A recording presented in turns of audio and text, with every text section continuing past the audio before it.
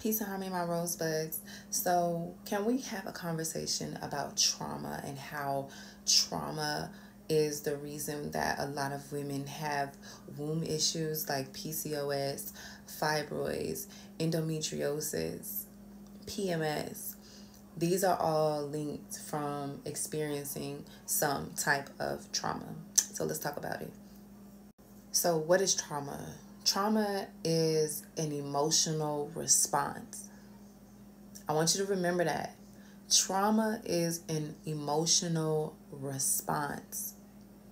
Whether it's an emotional response dealing with distress or it's dealing with some type of disturbance to you emotionally. And a lot of times we experience these during what? Childhood Okay, and sometimes, depending on the trauma, it can be passed down from the mother, and sometimes it can be passed down from the mother's mothers, and um, that's what we call intergenerational womb, or we can call it like um, epigenetics, depending on how, depending on the intensity of it, because if it's epigenetics, that means that it can alter or modify your DNA, and it can um do that for the eggs that are already inside of us because as women we're born with our eggs already. And trauma can come from anywhere, anything. The slightest thing can cause emotional trauma. And it could be whether it's from abuse, it could be if it's from um, you witnessing something that was very traumatic, like you were a child and you were witnessing your family fight each other. Now you just experience trauma because that was so um, detrimental to your emotions, especially as a child. You're not able to really discern or figure out what just happened. You're not able to really fully comprehend what just happened. So to you, that was disturbing and that created emotional trauma. And because you experience these traumas um, or these experiences, you know, um, it can lead to you as an adult, or not even just as an adult, but as you become older, you're now going to deal with issues of depression, anxiety. Um, you can actually um, do this thing called manifesting trauma where you have certain flashbacks and be, and if you're present in any situations um, that makes you feel a certain way you can actually create or manifest trauma in the current situation that you're in, even though that situation may not have had anything to do with your past experiences. But because you are, you have dealt with traumatic experiences, you're now manifesting trauma to happen with your current situation. And it's crazy. And because us as women, we hold our emotions and everything in our womb, um, we tend to have fertility issues. We tend to have a um, hormone imbalance. We tend to have uh, chronic pains because we have not dealt with our issues and we let them foster up into a ball of pain and emotions. Um, and we're going to dig into that. And this is why it's so important for women to also talk to the women in their families, not from a place of judgment, but talk to the women in your family to see what their womb history has been like. You know, what have they suffered from? Did, have they suffered from having numerous of miscarriages? Have they suffered from abortions? Have they um, experienced SA even DV can be um, emotional emotional trauma to the womb. You know, what have they experienced in their lifetime, and you can start to see the patterns within you. And you don't even have to necessarily experience the same thing they have but you will start to see some type of pattern. And it's very important that you start to take note of that and um, use that to help heal yourself.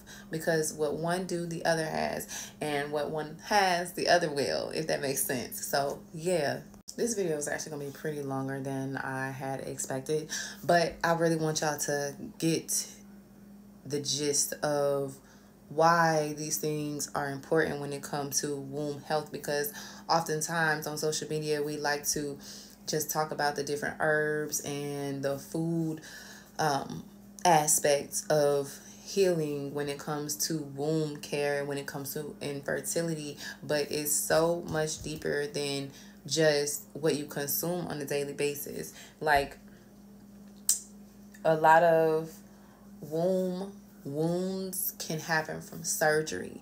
They can happen from um you know miscarriages. They can happen from uh just not even communicating or acknowledging that you have a womb as a woman it's the plenty of things that can happen even people um getting a divorce or being separated from their loved one their union because you have to think of it as a spiritual thing.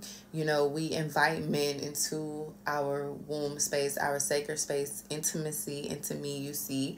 And um when you create that soul tie with that person, when they separate and they gone, your your womb has made this attachment to them, this bond, this tie to them. So when that person leaves, it creates some form of um, emotional trauma too, kind of like abandonment issues. Um, that person has gone away, they abandoned. So now you experience um, trauma in the womb, and that can manifest into fibroids, that can manifest into um, chronic PMS symptoms that it seems like you can take all the Midols and the pills that you want, but it's not going anywhere. Um, you know, that can manifest even to anxiety, um, uh, just depression. It can manifest into um, lack of as creativity, you know, because us as women, we're, we're creative. So if these are things that's happening, then we have to get to the root cause. Pills cannot fix the root cause. Pills only are suitable for treatment purposes. Okay, so if we're talking about trauma, types of trauma, and um, ways to really heal it when it comes to womb health and womb care, we have to get to the root cause, and the root cause is emotional trauma. When a woman fixes her emotional her emotions, she gets a grip on her emotions and she's able to have emotional intelligence. A lot of women who have emotional intelligence, they don't necessarily deal with womb issues. You know, they might have a little a little spasm every now and then, a little hiccup every now and then, but um and that's because nobody's perfect, but 9 times out of 10 when a woman fully knows her emotions and she's taking care of her body, her her temple as she should, um, you don't really see too many issues in her womb. And this is also why it's important for women to sit and do guided breath work, but setting the intentions on uh, her womb space. So what you'll do is you'll sit and put your fingers right here where your the thumbs where your belly button is and your and make like this triangle. And you sit in meditation and you literally set the intention. You start breathing. And out you inhale exhale you start breathing and you start to create this connection with your womb. And you start to do guided meditations with your womb so you can actually acknowledge what is there because if you sit in, in silence and meditation you can actually hear your womb telling you exactly what she needs and what is the issues what's the problems. But so many of us are so disconnected from that and we frown upon it and sometimes we even get down to the point of thinking it's witchcraft. And it's you just literally knowing you and your parts of you. And when you the more you know about your womb the more you know about self and what your capabilities are and what your abilities are and you're able to heal yourself in the right ways. And not always herbs can fix that.